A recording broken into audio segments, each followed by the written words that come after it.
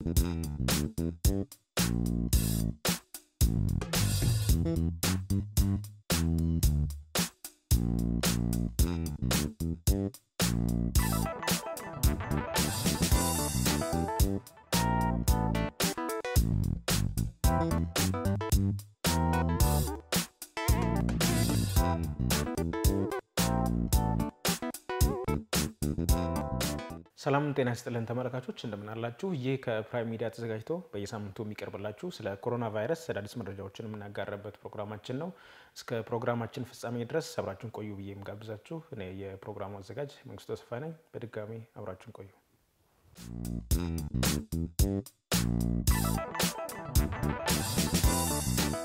እንግዲህ ተመልካቾች ዛሬም ደግሞ እንደተለመደው የተለያዩ መረጃዎችን አጋራችኋለሁ። መጀመሪያ ግን በዓለም አቀፍ ወሬዎች ጀምራለሁ። አንደኛው እንግዲህ በዚህ ሳምንት ትንሽ ብዙዎችን እያነጋገረ ያለው ኮሮና ቫይረስን የተመለከተ ማለት ነው። የተባበሩት መንግስታት ድርጅት WHO ወይ ደግሞ የዓለም አቀፉ የጤና ድርጅት ማለት ነው በዚህ ሰሞንም ደግሞ እንደገና ለአንድ ወር ሲያካሄድ የነበረውን የኮሮና ቫይረስ ምንጭ ከየት ተገኘ፣ ይሄ ቫይረስ ከየት ነው ወደኛ የመጣው ወደ ሰው ልጆች የመጣው የሚል ጥናት ሲያደርግ ነበረ። በመጀመሪያው አካባቢ ቫይረሱ የተገኘበት የቻይና ከተማ ውሃን ከተማ ላይ እንደገና ሌላ ዙር ጥናት ሲያደርግ ቆይቶ የጥናቱን ውጤት ይፋ አድርጓል።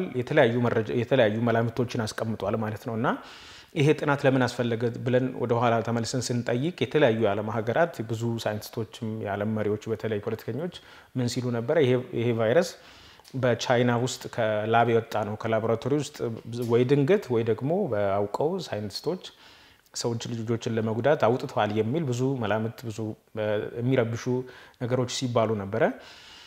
ስለዚህ ይሄን ዓለም አቀፉ የጤና ድርጅት ደግሞ ይሄንን ማረጋገጥ ስለነበረበት የተለያዩ expert ኦችን ወደ ቻይና ሲልክ ነበረ። ካለፈው ሰኔ ጀምሮ ብዙ ውጤቶችን ያላስገኙ ሙከራዎችን ሲያደርግ ቆይቶ በዚህ በኛው አመት በዚህ አመት ማለት ነው ፈቃድ አግኝቶ ወደ ቻይና ሄዶ ነበረ። የመጀመሪያው ዙር ምንድን ነው ከ lab እንዳልወጣ የሚያመላክቱ ነገሮች አሉ የሚል ነበረ። እዚህ ላይ ፕሮግራም መስራት ይታወሳል። በዚህ ሳምንትም ደግሞ ሌላ ዙር ጥናት ሲያደርግ ቆይቷል። አሁንም inconclusive ቢሆንም የመጨረሻ የመጨረሻ የቫይረሱ ምንጭ ይሄ ነው የሚባል መረጃ ባይደረስበትም በጣም ከብዛም ከላቦራቶሪ የወጣ ነው ለማለት ያስቸግራል። ግን ሁሉም option ኦች ግን ሁሉም አማራጮች ግን እስካሁንም ለጥናትና ለምርምር የተጋለጡ ወይ ደግሞ ክፍት የሆኑ ናቸው። ምናልባት አሁንም የምንዘጋው ነገር የለም። የምንዘጋው window ወይ ደግሞ የምንዘጋው መስኮት የለም።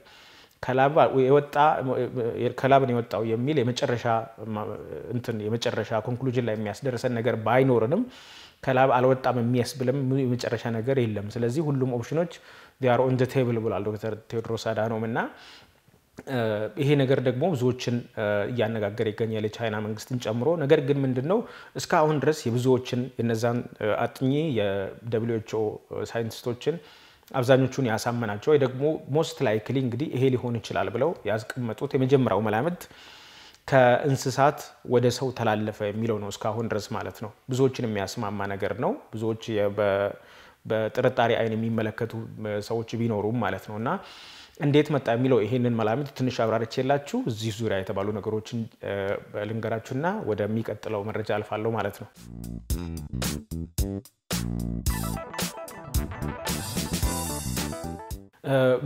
ምናሉ ቢያንስ በተለይ በተለይ ደግሞ ከእንስሳት ነው የመጣው የሚለው በየት በኩል ከማን ከየትኛው እንስሳ ወደ የትኛው ሰው ተላለፈ የሚለው ሲያነጋግር ቆይቷል። የ WHO መረጃ እንግዲህ እንደሚያሳየው ምናልባት እንግዲህ most likely ከሌሊት ወፍ ወደ ሌላ እንስሳ እንግዲህ በጣም ትናንሽ እንስሶች ማለት ነው ወደ ሌላ እንስሳ ተላልፎ በእነሱ በኩል እነሱን እንደ ደግሞ እንደ reservoir ተጠቅሞ ወደ ሰው ደግሞ ተላለፈ እነሱ ሲበሉ በነበሩባቸው ጊዜያት በቻይና ውስጥ ማለት ነው። እንደዛ ነው የሚል መላምት ነው።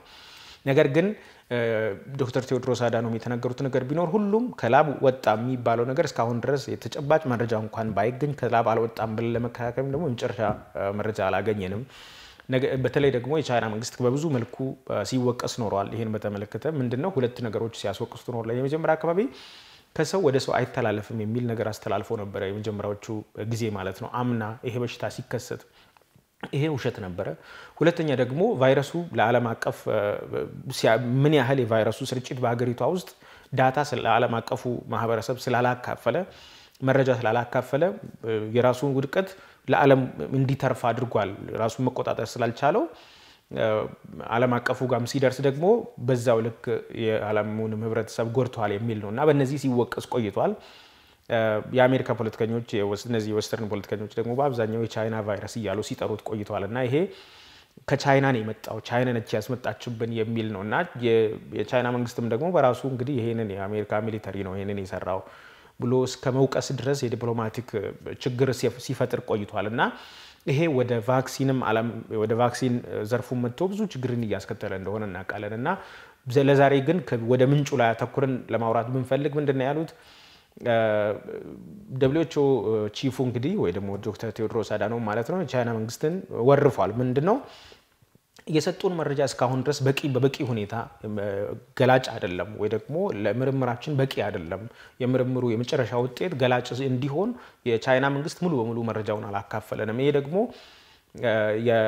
የበሽታውን ቁጥጥር በዓለም አቀፍ ጫናውንና ትብብሩን በቃ ሙሉ በሙሉ exert እንዳናደርግ ወይ ደግሞ ተግባራዊ እንዳናደርግ አስቸግሮናል የሚል ነው እና ይህንን አስመልክቶ የቻይና መንግስትም ምላሽ ሰጥቷል። ምንድን ነው ይሄ እንደዚህ አይነት ጉዳዩን ፖለቲካዊ ማድረግ የመገፋፈያ ነጥብ ማድረግ የዓለም አቀፉ ማህበረሰብ አንድ ላይ ይሄንን በሽታ እንዳይከላከል እንቅፋት ከመሆን ውጭ ምንም አይነት ጥቅምም የለውም። ይሄ ነገር ደግሞ ሳይንሳዊ መሰረትም የሌለው ነገር ነው። እኛ ቫይረሱን ላቦራቶሪ ውስጥም አላመረትነውም፣ ለዓለም አቀፍ ህብረተሰብ ደግሞ ኤክስፖርት አላደረግነውም የሚል መከራከሪያ አቅርቧል እና ይህን ተከትሎ የተለያዩ ሀገራት እንግዲህ እንግዲህ ቻይና more data ዎችን እንድታቀርብ more ነገሩ በ open በሆነ ሁኔታ እንዲጠና ክፍት እንድታደርግ እንግዲህ ጫና እያሳደሩ ይገኛሉ ማለት ነው። እሱ የሚያስገኘው እንግዲህ ወደሚቀጥለው በሚመጡ ጊዜያት የምናያቸው ነገሮች ይሆናሉ። እስካሁን ድረስ ግን ኮሮና ቫይረስ ከ lab ነው የወጣው የሚያስብል conclusive የሆነ የሳይንሳዊ መረጃ እስካሁን ድረስ እንደሌለ ነው እንግዲህ እስካሁን ድረስ የምናውቀው። እንግዲህ ሊሆን ይችላል ተብሎ የመጀመሪያ ረድፍ ላይ የተቀመጠው አማራጭ ምንድን ነው? ከሌሊት ወፍ ወደ ሌሎች እንስሳት መጥቶ ከነዛ እንስሳት ደግሞ ወደ ሰው ተላልፈዋል የሚል ነው እና ይሄ ነው እንግዲህ ዓለም አቀፉን ማህበረሰብ እያመሰ ያለው የዚህ ሳምንቱ አንደኛው መረጃ ማለት ነው።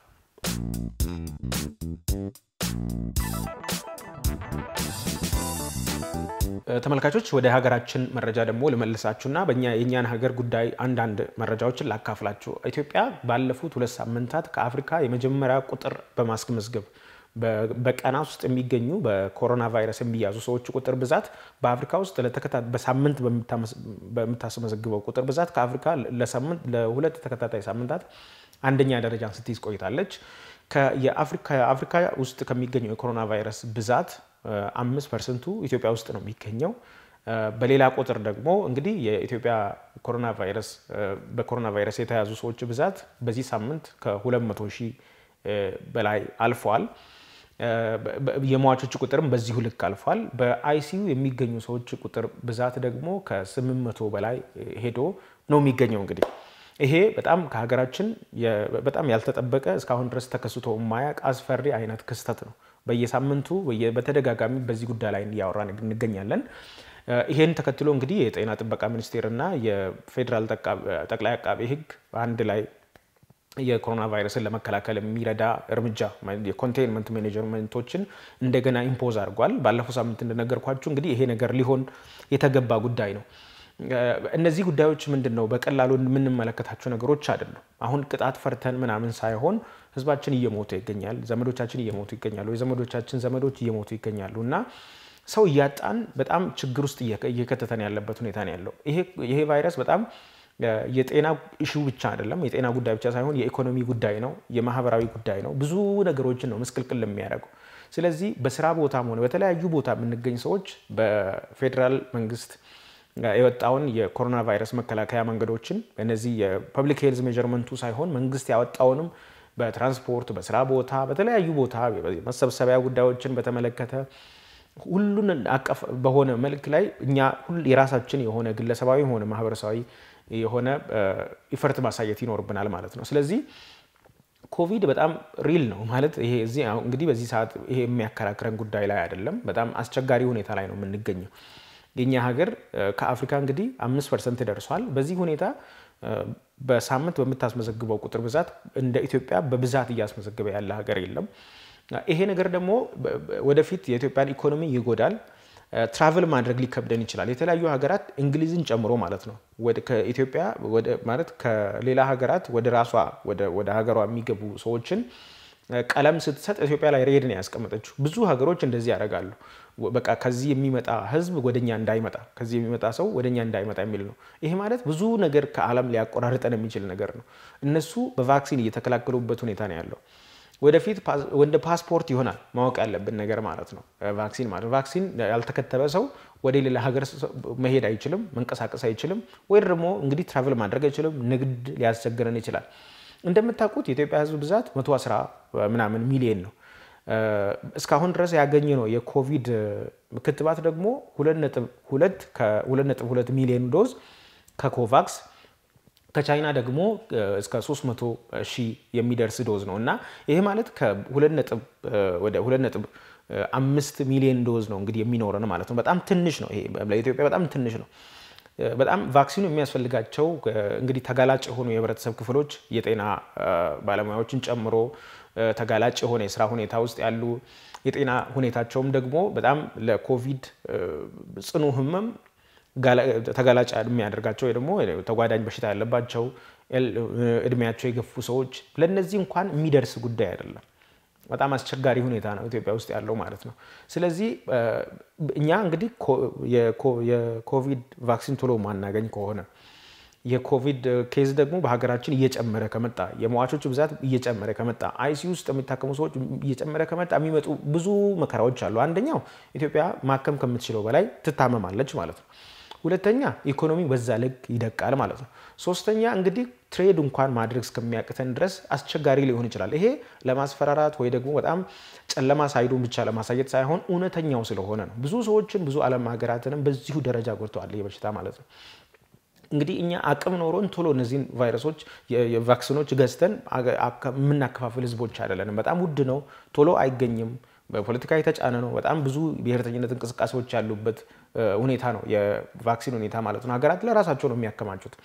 ስለዚህ አሁን በዚህ ሰዓት ምንድን ነው ማድረግ ያለብን? በስት ኢትዮጵያ ካንዱ ኢትዮጵያ ማድረግ የምትችለው ትልቁ ዋነኛው ነገር መከላከል መቻል ነው። ይህንን ቫይረስ መቆጣጠር መቻል ብቻና ብቻ ነው ያላት አማራጭ ማለት ነው።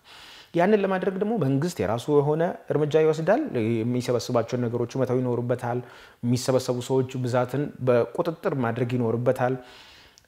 አሰሪዎች እና ሰራተኞች በሚሰሩበት ቦታ ስትሪክት በሆነ ሁኔታ ኮቪድን የሚከላከሉበትን መንገድ በስርዓት ተግባራዊ ማድረግ ይኖርባቸዋል። በዚሁም ደግሞ የቁጥጥር መንገዶች እንግዲህ እኛ በግለሰብ ደረጃም በማህበረሰብ ደረጃም በ family በስራ ቦታ በሁሉም ቦታ የምናደርጋቸው ነገሮች ይኖራሉ። ስለዚህ መንግስትም በዚህ ዙሪያ አሁን እንግዲህ ፖለቲካ ያልተረጋጋ ነው። election እየመጣ ነው። በጣም largest በጣም በሎጂስቲክ እንግዲህ ትልቅ እንቅስቃሴ ሊኖርበት የሚችል ነው የምርጫ ሁኔታ ባይተላለፍ አምና እንደምታስታውሱት ኮቪድ ምርጫን እንድናስተላልፍ አድርጎናል። እሱ ያስከተለውን የፖለቲካ ሁኔታ እናውቃለን። ስለዚህ የዚህ ቫይረስ ተጽዕኖ በጣም ብዙ ብዙ መልታይ ፋሴትድ ነው፣ ብዙ ገጽ ያለው ነው እና ፖለቲካን ይጎዳል፣ ኢኮኖሚን ይጎዳል፣ ጤናን ያቃውሳል፣ ሌሎች ማህበራዊ ሁኔታዎችንም ያቃውሳል። ስለዚህ ይሄንን ለመቀነስ ሲባል ኢትዮጵያ ያላት ብቸኛ አማራጭ መከላከሉ ላይ መቆጣጠሩ ላይ ነው ማተኮር ያለባት። ስለዚህ ማድረግ ይሄ ደግሞ ይሄን ሊያደርግ የሚችለው ደግሞ ዜጋው ነው። በግለሰብ ደረጃ የምናደርገው ነገር ይኖራል። በህብረተሰብ በ family ደረጃ የምናደርገው ነገር ይኖራል። በማህበረሰብ ደረጃ የምናደርገው ነገር ይኖራል። ስለዚህ ሁልጊዜ ማስክ ማድረግ ግዴታ ሊኖርብን ሊሆንብን ነው። ምንም አይገልን፣ ምንም አያደርገንም። ሁለተኛ ደግሞ እጃችንን ሁልጊዜ ማጽዳት እንዲሁም ደግሞ በሳኒታይዘር ሁልጊዜ እንዳጸዳን አይንና አፍንጫ አፋችንን ከመንካት መቆጠብ ይኖርብናል ማለት ነው። ሁልጊዜ እንደሚባለው ይሄ ወደ እያንዳንዳችን ሊመጣ ያለ ክፉ መጥፎ በሽታ ነው። ስለዚህ ይሄ እንግዳ እኛን ከመጎብኘቱ በፊት ስለዚህ ሁላችንም መከላከል ይኖርብናል ማለት ነው።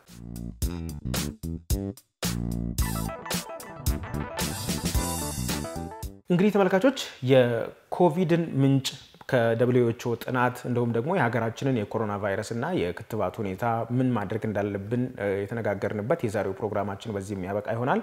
ሳምንትም ደግሞ ሌሎች አዳዲስ መረጃዎችን ይዤ እቀርባለሁ። እስከዚያ ድረስ ሰላም።.